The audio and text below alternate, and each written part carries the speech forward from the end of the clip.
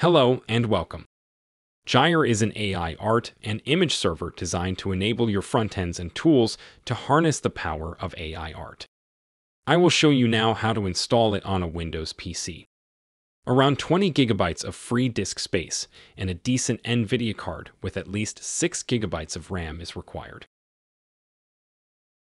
First, go to gyre.ai in your web browser.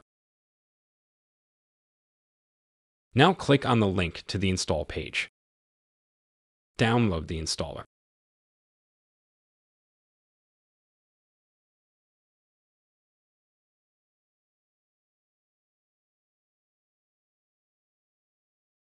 Now open the zip file and copy the folder inside to a destination on your hard drive.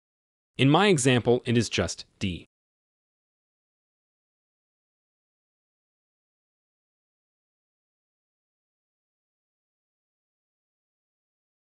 Inside the new folder, start installation by clicking on the installer. The installation needs several minutes now.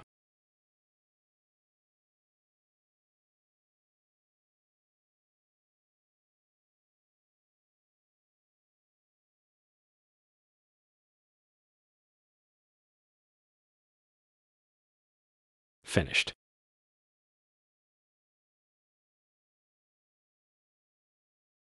If you want to change some configuration, you can do this by editing the config file. As an example, you might allow computers on the local network to access the server. For starting, just click on run.cmd. The first time, the server downloads all the AI models. This can take quite a long time, up to several hours, depending on the speed of your internet connection.